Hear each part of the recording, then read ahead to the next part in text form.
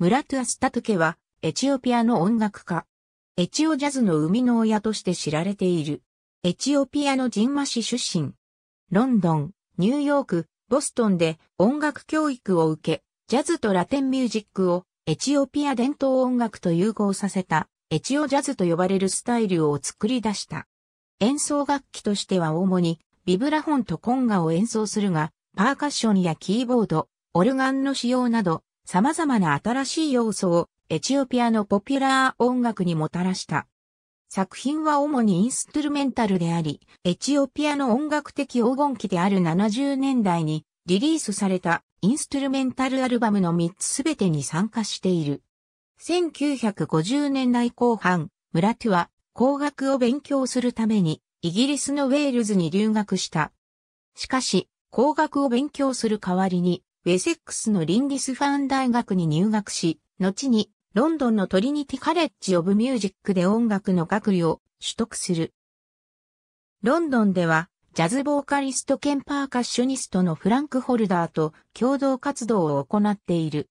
60年代になり、ムラトゥは活動の拠点をアメリカ合衆国に移し、ボストンのバークリー音楽大学に初のアフリカ大陸出身の生徒として入学する。同学でビブラフォン及びパーカッションを学んだ。アメリカ在住中に、村津はラテンジャズに関心を持ち、初の2枚組アルバムとなるアフロ、ラテンソウル、ボリュームス 1&2 をニューヨークで1966年に録音した。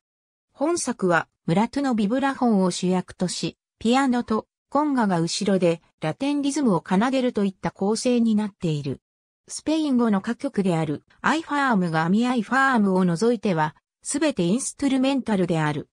このアルバムは、同時代のラテンジャズのアルバムから傑出しているとまでは言えないが、ムラトゥの後の作品の特徴と言えるものが垣間見える。このアルバムにより、コンガやボンゴをエチオピアのポピュラー音楽に持ち込んだ。ムラトゥアスタトケ、2005年、世界情報社会サミットにて1970年代初期にはアメリカで活動を行いつつ、エチオピアでも音楽活動を行うようになり、彼がエチオジャズと呼ぶ新しい音楽スタイルを母国に紹介した。この時期にエチオピア・アメリカの両国で著名なミュージシャンと共演を行っている。エチオピアの歌手マフムード・アフメドの楽曲の作編曲、演奏に参加するほか、デューク・エリントン楽団の1973年のエチオピア公演でスペシャルゲストとして参加した。ムラトゥアスタトケ、イーザー、オーケストラとのコルゲート大学公演前1972年にニューヨークで代表作となるムラトゥ・オブ・エチオピアをレコーディング。また、エチオピアではアムハエシェテが立ち上げたレーベル、アムハレコードよりシングル作品を数本リリースしたほか、1974年にアルバムイエーコティットエチオジャズをリリースしている。エチオピアの歌手であるマフムード・アフメド、トラフンネセセ、アレマイユ・エシェテなどの同時代の作品にも、ジャズやラテン楽器の使用など、ムラットの影響は見られる。ムラトゥアスタトケ、ザ・ヘリオセントリクスとの共演1975年、エチオピア帝政が廃止され、軍事政権の時代になるとともに、アムハレコードは活動停止を余儀なくされ、所属ミュージシャンの多くはエチオピア国外に亡命した。ムラトゥはその後もしばらくエチオピアにとどまり、ハイルメルニアザ・ワリアスの1977年のアルバム、テイベルーにビブラフォンで参加している。しかし80年代になると、ムラトゥの音楽の存在は国外では忘れられてしまった。1990年代、レアグルーブムーブメントの高まりとともに、レコードコレクターによって、ムラトゥの70年代の音源が再評価され、過去音源のコピー版が出版されるようになった。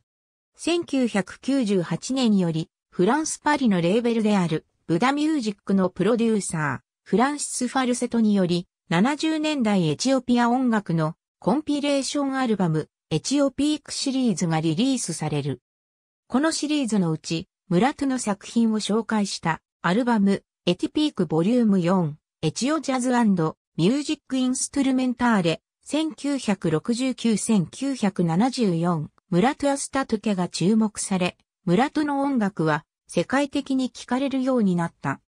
ムラトゥアスタトゥケ、ブラック、ジーザスエクスペリエンスとの共演また、アメリカの映画監督ジム・ジャームッシュの作品、ブロークン・フラワーズでムラトゥの音源が使用されたことにより、さらにヨーロッパ、アメリカ世界でも注目されることとなる。ヒップホップにもムラトの音楽は影響を与え、ナズ、ダミアン・マーリー、カニエ・ウエスト、カット・ケミスト、マット・リブなどの作品にムラト音源のサンプリングが使用されている。ありがとうございます。